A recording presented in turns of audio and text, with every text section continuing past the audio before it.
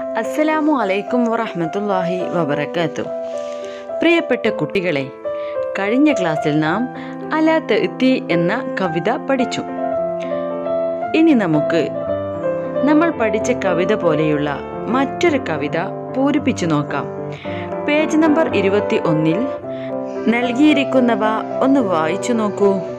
نكمل المنظومة التالية بألفاظ موافقة في المربع وننشد നുക്കമ്മിലു നമുക്ക് പൂരിപ്പിക്കാം അൽ മൻലൂമ കവിത അത്താലിയ താഴെയുള്ള ബി അൽഫാലിൻ പദങ്ങൾ കൊണ്ട് മുവാഫിഖത്തിൻ യോജിച്ച ഫിൽ മുറബായി ബോക്സിലുള്ള വനുൻഷിതു എന്നിട്ട് നമുക്ക് പാടി നോക്കാം അതായത് താഴെ നൽകിയിരിക്കുന്ന കവിതയിൽ വിട്ടുപോയ ഭാഗങ്ങൾ പൂരിപ്പിക്കുകയാണ് വേണ്ടത്.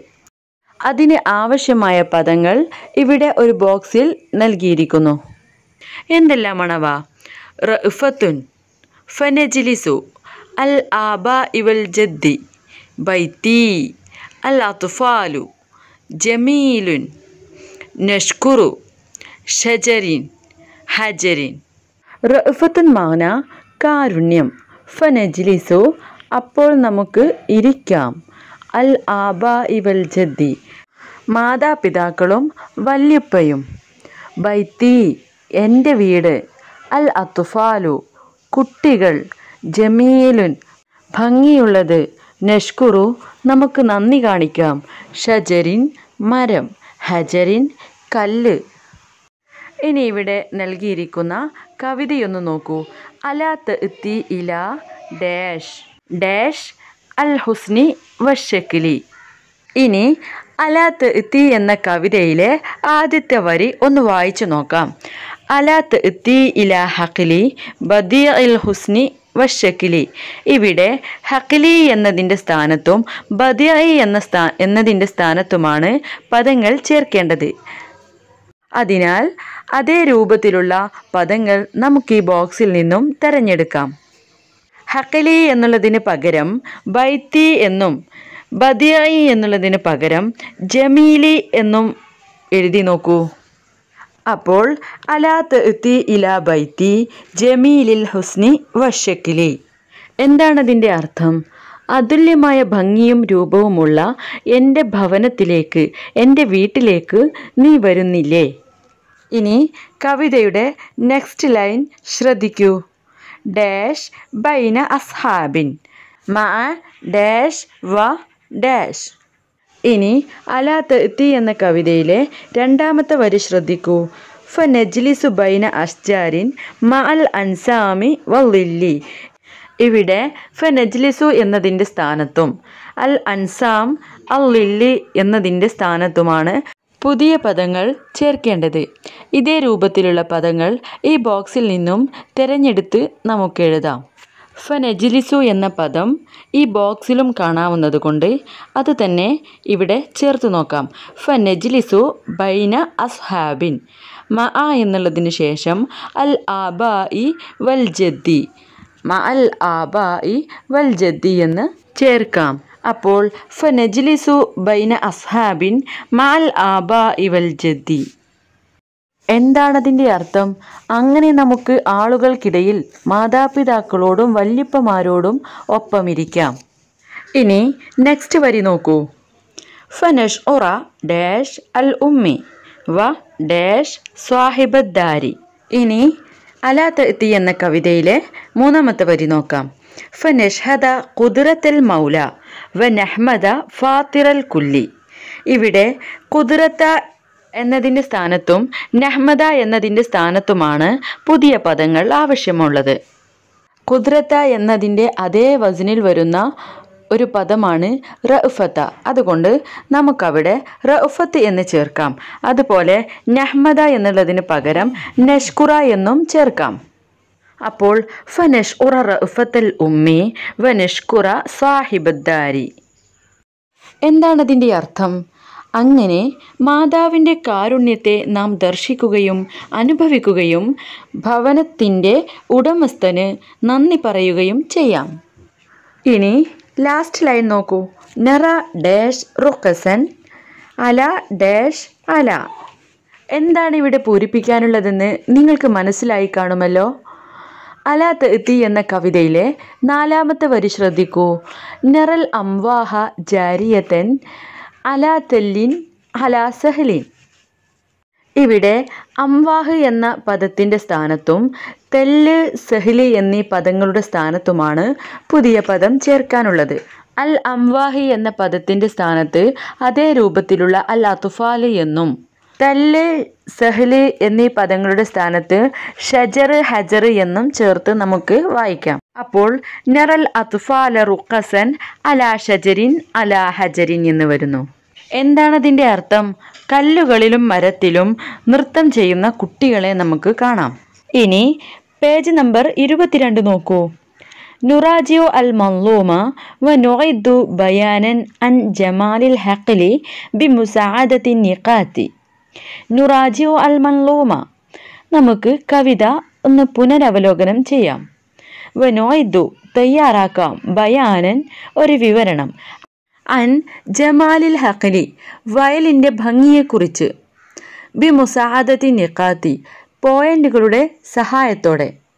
അഹ്റാസുൻ മുഖ്തലിഫ വ്യത്യസ്തമായ ചെടികൾ. അംവാഹുൻ ജാരിയ ഒഴുകുന്ന വെള്ളം. അൻസാമുൻ ബാരിത തണുപ്പുള്ള ഇളം കാറ്റ്. അസ്ഹാറുൻ റായ ഭംഗിയുള്ള പൂക്കൾ.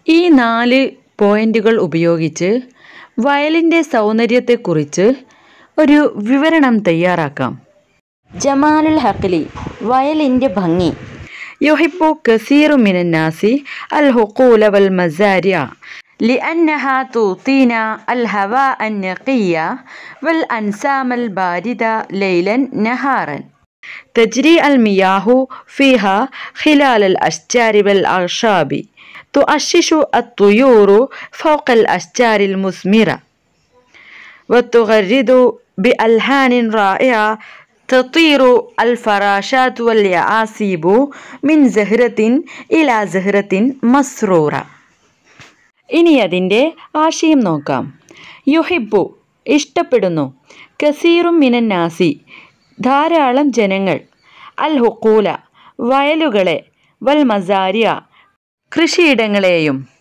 അതായത് വയലുകളെയും കൃഷിയിടങ്ങളെയും ധാരാളം ജനങ്ങൾ ഇഷ്ടപ്പെടുന്നു.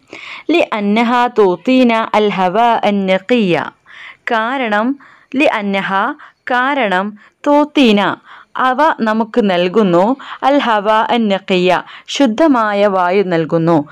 വൽ അൻസാമി ഇളം കാറ്റിനെയും. അൽ ബാരിദ തണുപ്പുള്ള. ലൈലൻ നഹാറൻ രാപ്പകൽ. അതായത് രാപ്പകൽ തണുപ്പുള്ള കാറ്റിനെയും ശുദ്ധമായ വായുവിനെയും വയലുകളും കൃഷിയിടങ്ങളും നൽകുന്നു. തെജിരി അൽ മിയാഹു ഫിഹ. അവിടെ വെള്ളമൊഴുകുന്നു.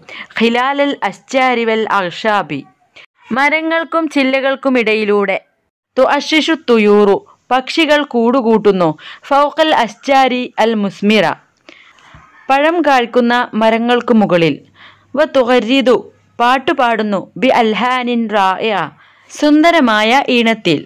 തൊത്തീറു. പറക്കുന്നു. അൽ ഫറാഷാത്തു. പൂമ്പാറ്റകൾ. വല്യ ആസീബു തുമ്പികളും. മിൻ ജഹ്റത്തിൻ ഇല ജഹ്റ ഒരു പൂവിൽ നിന്ന് മറ്റൊരു പൂവിലേക്ക്. മസ്രൂറത്തൻ സന്തോഷത്തോടെ. അതായത് സന്തോഷത്താൽ ഒരു പൂവിൽ നിന്ന് മറ്റൊരു പൂവിലേക്ക് തുമ്പികളും പൂമ്പാറ്റകളും പറക്കുന്നു. ഭംഗിയുള്ള ഈണത്തിൽ പക്ഷികൾ പാട്ടുപാടുന്നു. വയലിന്റെ മനോഹാരിതയെക്കുറിച്ചുള്ള വിവരണമാണിത്. ഇനി നമുക്ക് അലാത്ത് എത്തി എന്ന കവിത എഴുതിയ കവിയെ ഒന്ന് പരിചയപ്പെടാം. നതഅറഫു അഷായിറ കവിയെ പരിചയപ്പെടാം. അഷായിറു ഗാലിബ് മെഹ്നി. ഗാലിബ് മെഹ്നി എന്ന കവി ഷായിറുൻ മഷൂറുൻ പ്രസിദ്ധനായ കവിയാണ്. ഫിൽ അസ്രിൽ ഹദീസി. ആധുനിക കാലത്ത് ഇഷ്തഹറ ഫി മജാലി ഷിഗരിൽ അത്ഫാലി. ഇഷ്തഹറ പ്രസിദ്ധമായി ഫി മജാലി ഷിഗരിൽ അത്ഫാലി. കുട്ടിക്കവിതയുടെ മേഖലയിൽ അദ്ദേഹം പ്രസിദ്ധനായി. ലഹു കസായിദ കസീറ. അദ്ദേഹത്തിന് ഒരുപാട് കവിതകളുണ്ട്. മിസില അൽ ഹുബ്സു വൽ മിൽഹു കവായിദുൽ ഇസ്ലാം മൗസിമുൽ ഹസായിദ് ഇങ്ങനെയുള്ള കവിതകൾ. ഇനി പേജ് നമ്പർ ഇരുപത്തിരണ്ടിലെ അവസാനത്തെ ആക്ടിവിറ്റി നോക്കൂ. നഖറഉ വ നുളീഫു. നമുക്ക് വായിക്കാം കൂട്ടിച്ചേർക്കാം. അൽ വഹദത്തു കുവത്തുൻ ഐക്യം ശക്തിയാണ്.